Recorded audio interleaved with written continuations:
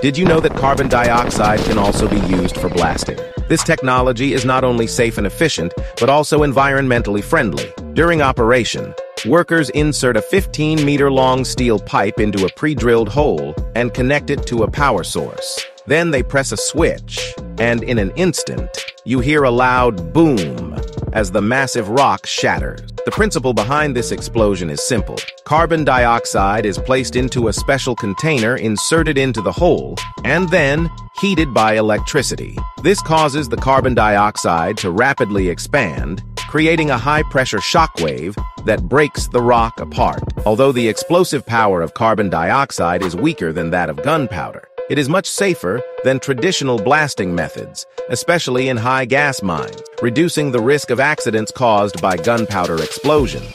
This technology is widely used in quarries, high gas mines, and road construction, as it doesn't rely on gunpowder preventing gas explosions and doesn't produce harmful chemicals or dangerous debris.